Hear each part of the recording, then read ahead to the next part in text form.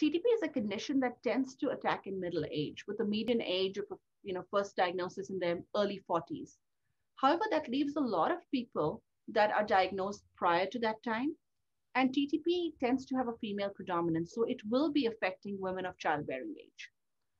The unique situation with pregnancy is that even in normal pregnancy, towards the end of pregnancy, ADAMTS13 activity goes down and von Willebrand factor levels go up, likely as a natural defense against postpartum hemorrhage, which used to kill a lot of pregnant women in the past.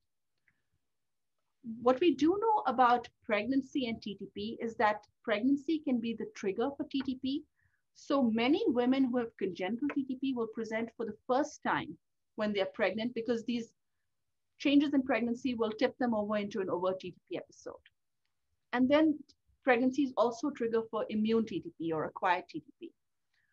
The challenge here is twofold. One is that if TTP recurs during a pregnancy, um, then the fetal outcomes may be poor, particularly when it occurs somewhere between the 20th to the 30th week of pregnancy. There's a really high rate of losing the pregnancy.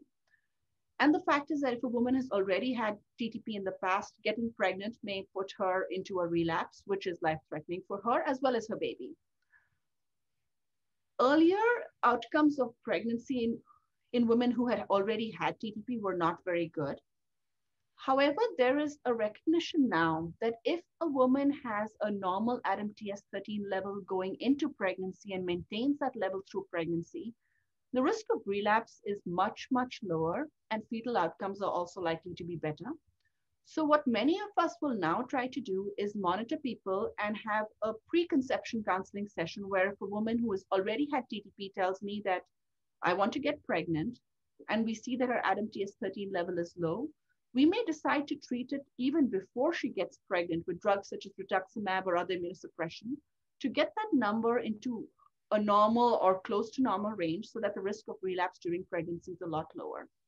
This is to help her not relapse, but also to have a successful pregnancy with a